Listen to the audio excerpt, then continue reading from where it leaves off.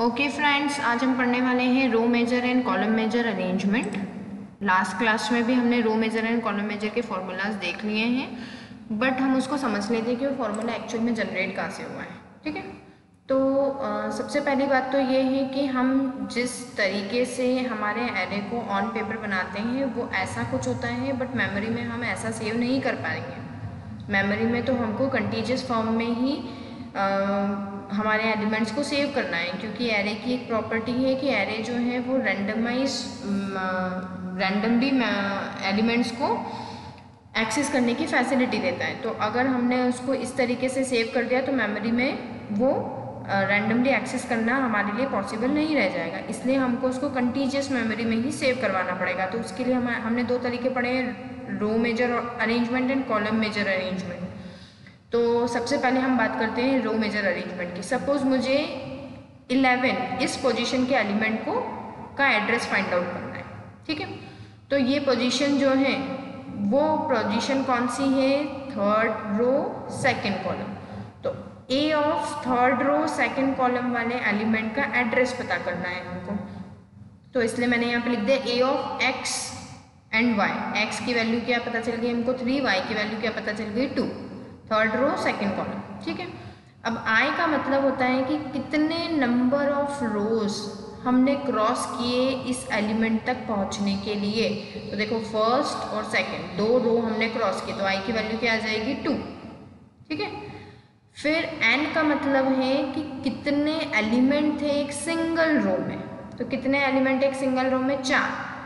तो एन की वैल्यू क्या आ जाएगी? फोर तो टोटल नंबर ऑफ़ एलिमेंट्स कितने क्रॉस करे रोज में यहाँ पहुँचने के लिए? फोर इंटू टू एट ठीक है? अब जे पे आते हैं तो जे ये बताता है कि डिजायर्ड एलिमेंट तक पहुँचने के लिए कितने नंबर ऑफ़ कॉलम्स आपने क्रॉस करें? तो कितने कॉलम क्रॉस करे? वन ये किसका फॉर्मूला पढ़ रहे हैं हम? रो मेजर अरेंजमेंट का. ठीक है? कितने नंबर कॉलम कितने नंबर ऑफ़ कॉलम क्रॉस करें? वन उसके बाद हम डिजायर्ड एलिमेंट पे पहुँच जाएँगे तो जे की वैल्यू क्या रख दी हमने? वन अब size of each element size of each element कितना गिवन है आपके पास? टू बाइट्स ये एजम्पन है या फिर आपको गिवन होगा या फिर आप एलिमेंट के टाइप को देख के ये पता कर पाएँगे कि क्या साइज़ होनी चाहिए। ठीक है? क्योंकि ये आ, कैसा है array homogeneous collection of element है तो या तो सारे कैरेक्टर होंगे या सारे इंटीजर होंगे या सारे फ्लोट होंगे। ठीक है? तो उस बेसिस पे हमने डिसाइड कर लिया कि साइज़ ऑफ़ ईच एलिमेंट कितना है? टू बाइट ठीक? और base address of array array का बेस एड्रेस बेस एड्रेस मतलब कहाँ से स्टार्ट हुआ, वो स्टोर होना। तो वन वाला फ़र्स्ट वाला एलिमेंट यहाँ है तो सपोज़ ये हंड्रेड हो सकता है ज़ीरो हो सकता है टू फिफ्टी सेवन हो सकता है थ्री नाइन्टी सिक्स हो सकता है, कुछ भी हो सकता है बेस एड्रेस तो हमने यहाँ एजम्पन किया है बेस एड्रेस कितना? हंड्रेड तो देखो आई की वैल्यू टू हमने पुट कर दी. एन की वैल्यू एक सिंगल रो में कितने नंबर ऑफ़ एलिमेंट्स थे? फोर हमने पुट कर दिए. जे कितने नंबर ऑफ़ कॉलम्स को क्रॉस किया? तो one size of each element two bytes और बेस एड्रेस हंड्रेड इन सबको कैलकुलेट किया तो कितना आया? वन वन एट अब बेस एड्रेस हंड्रेड का मतलब है कि फ़र्स्ट वाला एलिमेंट हंड्रेड एड्रेस पे है. तो और एक सिंगल एलिमेंट को स्टोर करने के लिए कितने बाइट्स रिक्वायर्ड है? टू बाइट्स तो hundred and hundred and one ये दोनों एड्रेस किसके लिए ऑक्यूपेंसी रख रहे हैं? एलिमेंट वन के लिए. Hundred and two and hundred and three two के लिए. 104 and 105 3 के लिए. 105 sorry 106 and 7 4 108 and 9 10 and 11 12 and 13 14 and 15 16 and 17 18 and 19 तो देखो इसने बता दिया कि एरे का थर्ड रो का सेकेंड एलिमेंट 118 एड्रेस पे है और हमारे अकॉर्डिंग भी, भी वो वहीं आ रहा है। अगर हमने रो मेजर अरेंजमेंट को वन डी एरे में कन्वर्ट कर लिया है तो। ठीक है? तो ये हमारा क्या था? रो मेजर अरेंजमेंट का फॉर्मूला ये फॉर्मूला पढ़े या इसके जस्ट पहले वाला जो लेक्चर है उस फॉर्मूले को पढ़ेंगे आप? दोनों में कोई डिफरेंस नहीं है। वहाँ पे लोअर बाउंड अपर बाउंड वाली टर्म्स डिनोट की गई है। यहाँ पे हमने खुद ने बन, बता दिया है बना लिया है वो फॉर्मूला कि एक्चुअल में वो फॉर्मूला काम कैसे कर रहा है। क्लियर अब सेम एज इट इज़ हम बात करते हैं कॉलम मेजर ऑर्डर की। अगर इस मैट्रिक्स को हमने किसमें डाल दिया है? कॉलम मेजर अरेंजमेंट में रख दिया है तो।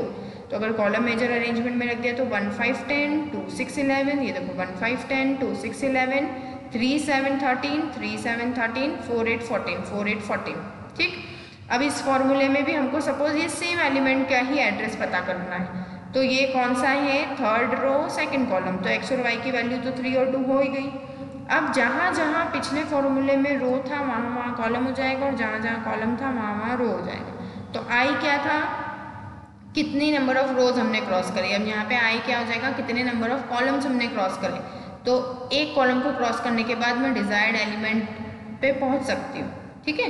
तो आई की वैल्यू कितनी होगी? वन एंड एक सिंगल कॉलम में कितने नंबर ऑफ़ एलिमेंट्स हैं? तो एक सिंगल कॉलम में कितने नंबर ऑफ़ एलिमेंट्स है? थ्री तो एन की वैल्यू क्या होगी? थ्री जे, कितने नंबर ऑफ़ रोज को क्रॉस करने के बाद आप यहाँ पहुँच पा रहे हो? तो दो रो को क्रॉस करने के बाद पहुँच पा रहे हो तो जे की वैल्यू होगी टू एक एलिमेंट की साइज़ दो बाइट बेस एड्रेस हंड्रेड ये सब एजम्पन्स हैं, ठीक है?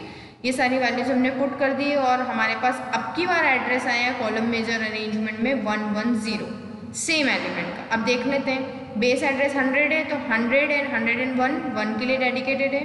Hundred and two and hundred and three five के लिए डेडिकेटेड है। Hundred and four and five ten के लिए डेडिकेटेड है। Hundred and six and seven two के लिए डेडिकेटेड है। Hundred and eight and nine six के लिए डेडिकेटेड है। Hundred and ten and eleven eleven के लिए डेडिकेटेड है। ठीक है? तो हंड्रेड एंड टेन वाले एड्रेस पे जो स्टार्टिंग एड्रेस होता है ना, किसी भी ब्लॉक का, वही हमको यहाँ पे पता चलता है। तो 11 का हाँ स्टार्टिंग एड्रेस हमको क्या पता चल गया? 110 अगले वाले एलिमेंट का फाइंड आउट कर लीजिए और दोनों को माइनस कर दीजिए, आपको पता चल जाएगा एक सिंगल ब्लॉक जो है वो कितने बाइट्स कंटेन करके रख रहा है। ठीक? तो रो मेजर और कॉलम मेजर के दोनों के फॉर्मूलेज हमने प्रीवियस लेक्चर में देख लिए बट ये भी एक तरीका है ईजीली फाइंड आउट करने का। अगर आपको लोअर बाउंड अपर बाउंड ये सब क्लियर नहीं हो रहा है या फिर क्वेश्चन में गिवन नहीं है। अगर वैल्यूज़ क्वेश्चन में डायरेक्टली गिवन है तो जो हमने प्रीवियस लेक्चर में फॉर्मूलाज पढ़े हैं, वो बिल्कुल करेक्ट है और उससे आप इजीली फाइंड आउट कर पाएँगे। बट अगर आपको एक्चुअल में समझना है कि हो क्या रहा है उन फॉर्मूले में, वो फॉर्मूला एक्चुअल में बन के यही आएगा।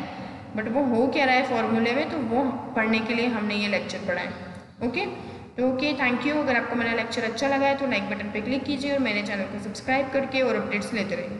Thank you